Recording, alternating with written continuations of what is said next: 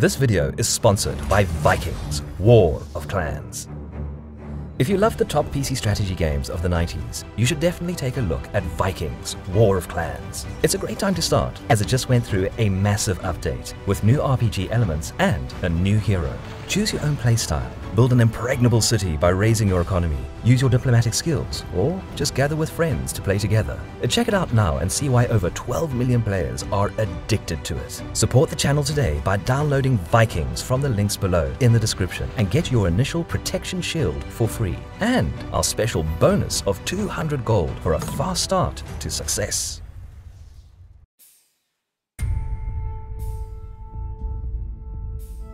It's the first half of the 13th century. The lands of medieval Livonia are being conquered by the Sword Brethren, a Catholic military order sanctioned by the Pope.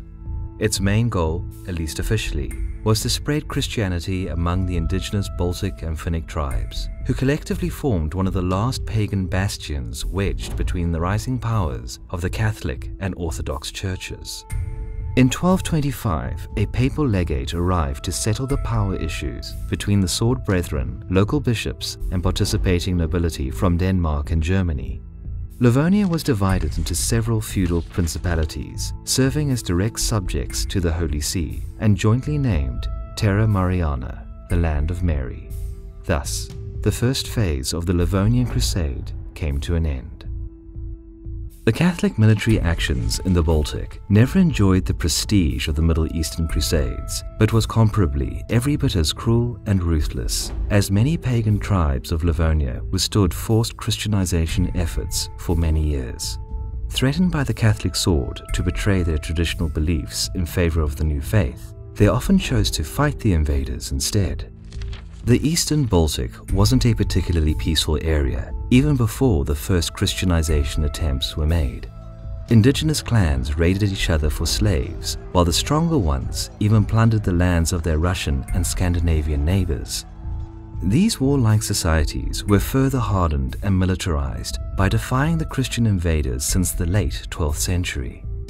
The rough and swampy Livonian woodlands encouraged ambushes and the usage of hit-and-run tactics by the indigenous tribes, as it was their only hope to stand a chance against the usually heavily armored and well-disciplined sword brethren. In 1236, a papal bull was issued declaring a crusade against the Lithuanian tribes inhabiting the lands south of the Daugava River. The Sword Brethren were reinforced by a party of so-called seasonal crusaders from northern Germany, and in September, the joint force entered the lands of the Samogitian tribes. Upon making contact with an enemy raiding party at a swampy river crossing, the master of the Sword Brethren, being pressured by proud and overconfident German knights who refused to fight on foot, set camp for the night in this unsuitable place. This proved to be a huge mistake.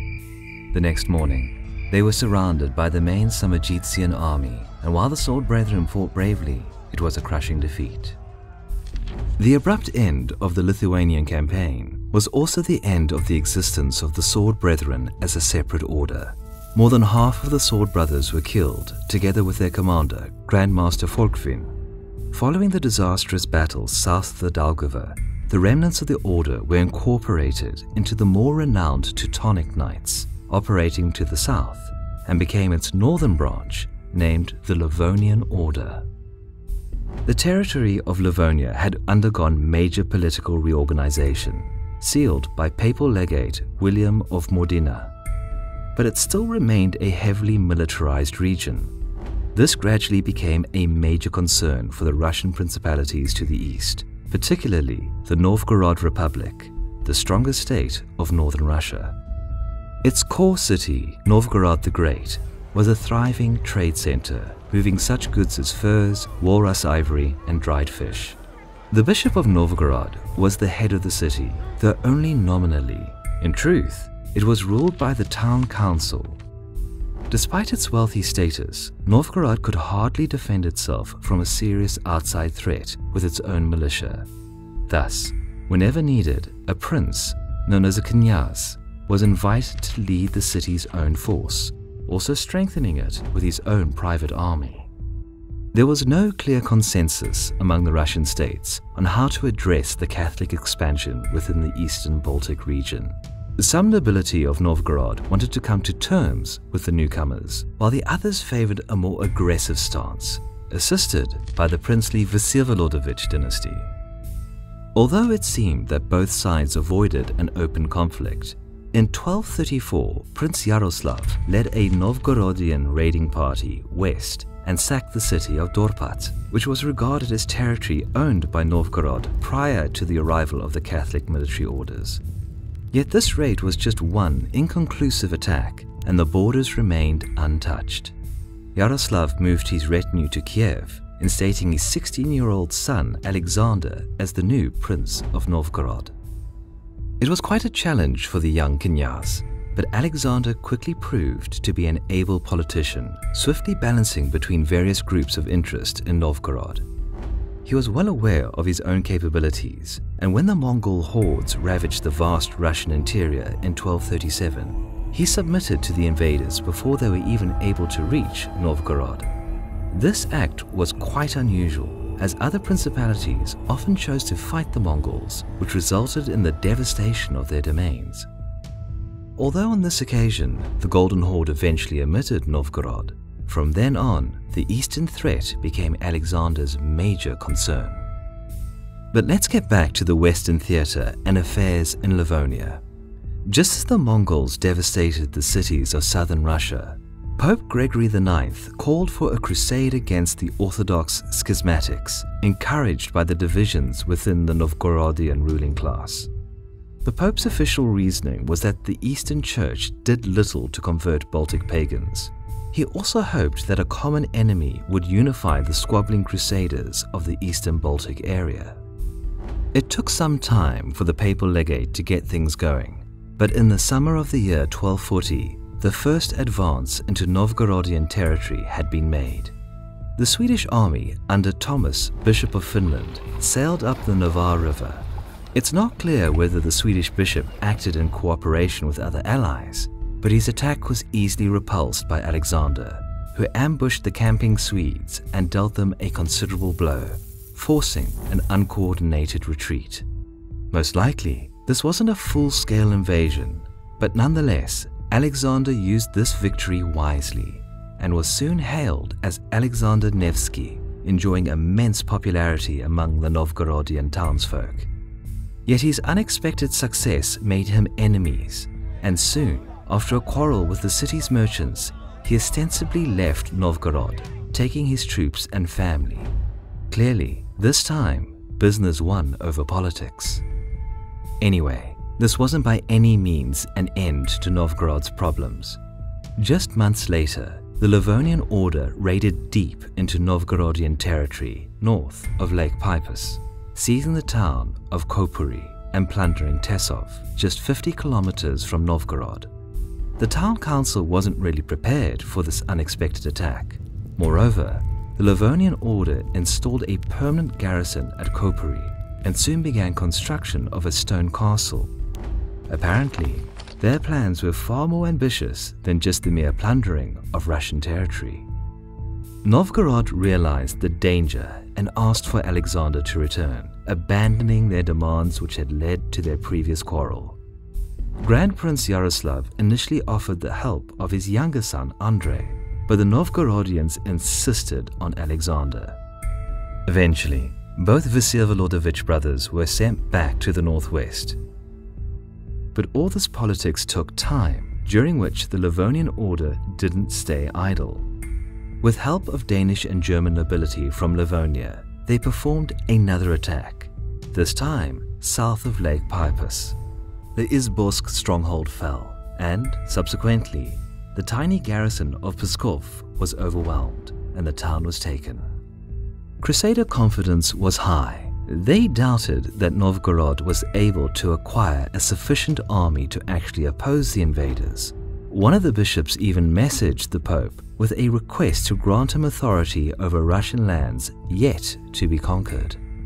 Meanwhile, Alexander finally arrived in Novgorod with his troops, strung up those who dared to drive him out of the city a year earlier, and prepared an organized defense. His return, though, coincided with another Mongol attack. It was a deadly threat to both belligerents, as Alexander couldn't be sure of the Mongol intentions, as their previous agreements were rather brief and of little importance. Luckily, the Mongols avoided Novgorod and the north in general, wreaking havoc in Central Europe instead, so Alexander could plan his steps uninterrupted. He performed his first counterattack in autumn of the year 1241, taking the newly built Koporye castle by surprise. Early the next year, he was ready to reclaim the town of Pskov and did it swiftly enough so the stationed nearby garrison at Izborsk could not intervene in time. While Alexander limited his actions to Novgorod territory over the previous year, this time he passed by the Izborsk stronghold and ravaged the lands to the south of the city of Dorpat as an act of vengeance. While Novgorodian troops were busy pillaging, the Livonian order hastily assembled an army able to repel the enemy, commanded by Bishop Herman of Dorpat. They struck one of Alexander's unexpected units southeast of the city in a first move. Novgorodian survivors of the ambush rejoined with their prince, and Alexander learned that the Livonian order had gathered enough troops to pose a serious threat to his goals. We don't know much about Alexander's exact plans, but upon learning that the enemy was tracing him, he made use of his superior scouts and marched north along the lake, seeking a suitable spot to defend. Upon reaching the narrow crossing around the sound connecting lakes Pskov and Peipus, he decided to march through it and began deployment on the eastern shore. Both flanks were occupied by Alexander's and Andrei's Druzhina, the prince's mounted retinue and most valuable of all Novgorodian troops. The center comprised predominantly of the city's militia, supplemented by the prince's own footmen.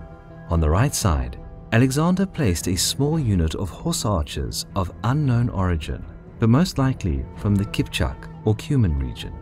The total number of his troops probably counted a little more than 5,000 men. Soon, Bishop Herman of Dorpat arrived on the battlefield. A hurried mobilization directly affected the bishop's numbers, as he led no more than two and a half thousand soldiers to the battle.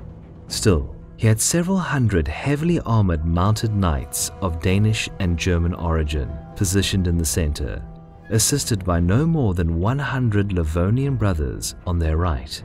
A couple of units of regular militia infantry covered the left flank, while the second line was comprised of lightly armored Estonian allied tribesmen held in the reserve.